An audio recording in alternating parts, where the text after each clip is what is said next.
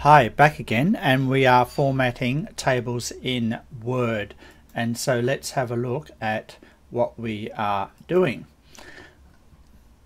First of all, we want to change the order of some of the variables that we have here. So for example, customer concentration, I want that to be next underdeveloped country customer.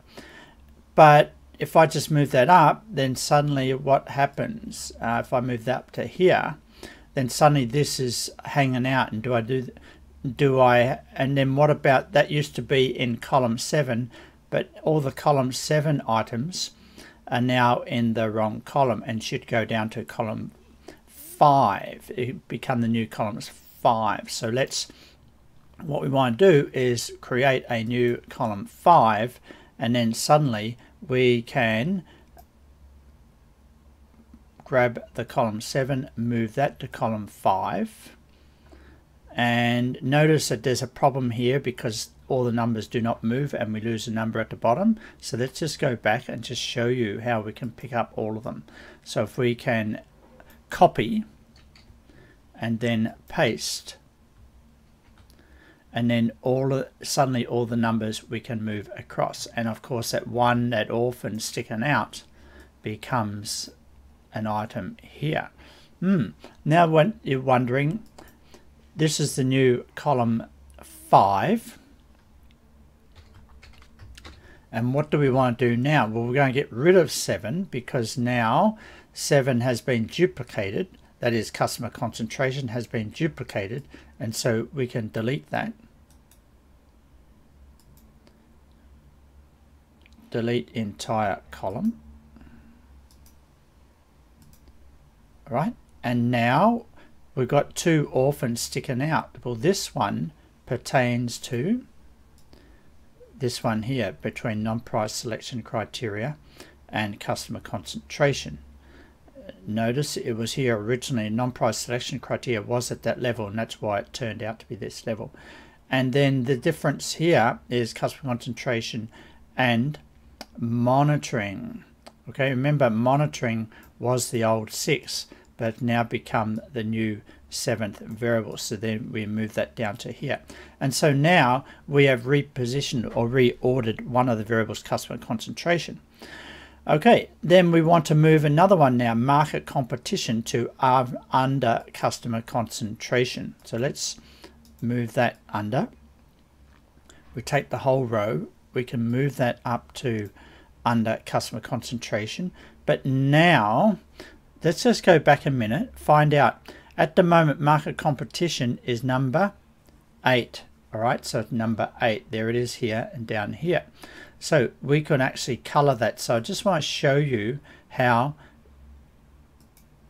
we can relocate these rows and columns. Mm. So we number one, you click market competition, move it under customer concentration. Fine. Next, market competition is now the new number six variable. So therefore we have to create a column here.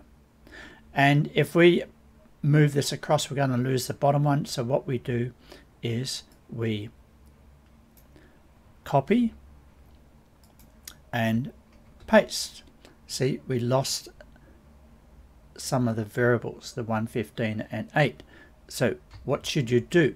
You should just copy the rows, those that are in a series. So there's seven in a series here there's two missing here and that's why that problem occurred. So let's copy that and we paste that and therefore we have the full amount copied.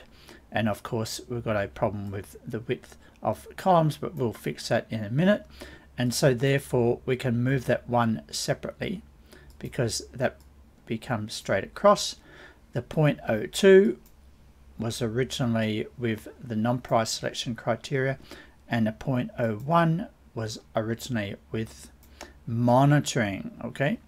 And there you have the new variables set up and then we can delete this one.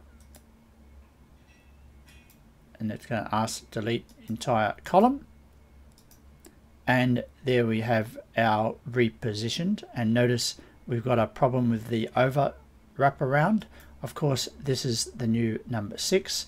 But for now we just want to move that column out a little bit. And we've got a problem with that. So what we can do is actually take all of the columns. We go to layout distribute columns and we want to make the width.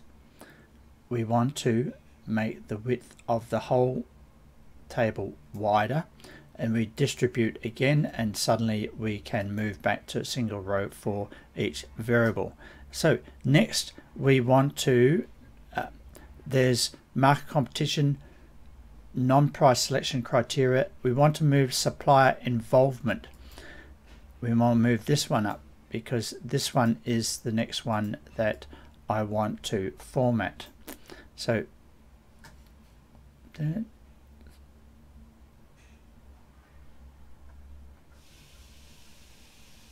Supplier involvement should go up to here. And that originally we're going to move that to after market competition.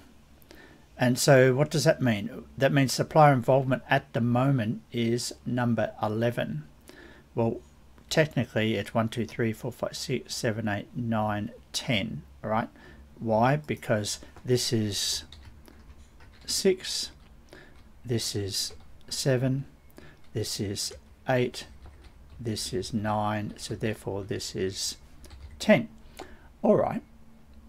And we've got the other numbers that we can update. But for now supplier involvement is we want to move supplier involvement. So what can we do? Before we do that let's just take away these highlighted rows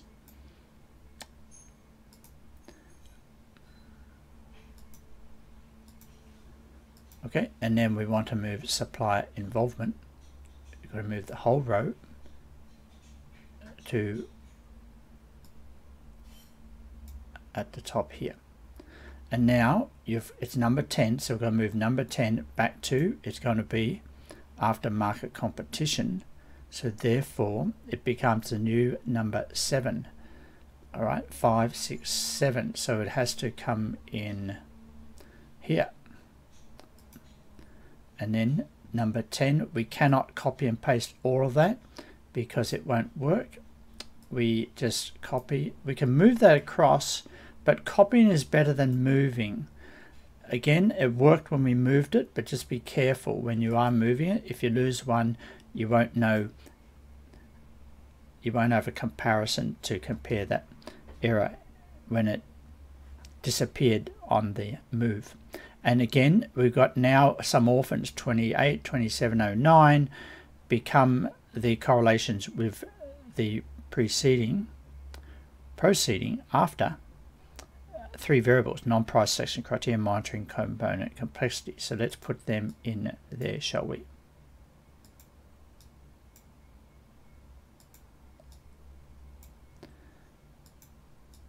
Again, and then we can get rid of this column. So you do it one at a time. It's better to do this way rather than wholesale changes because this way you can always double check that you're preserving the correlations between the variables you are moving and the other variables in the array.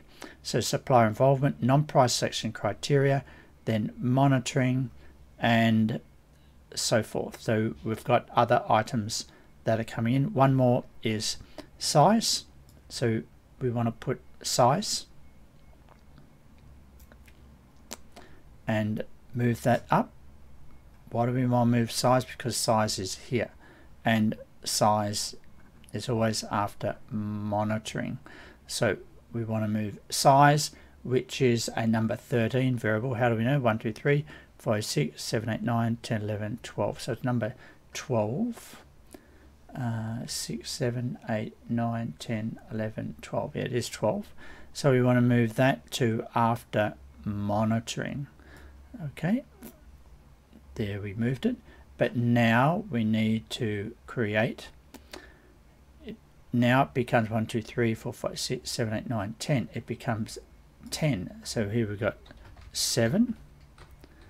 We've got 8. we've got 9 and we've got 10 and now what are we doing with 10 well it's a new 10 so therefore we create a extra column.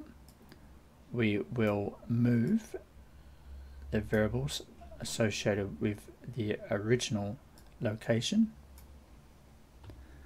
Cut and paste. That didn't work.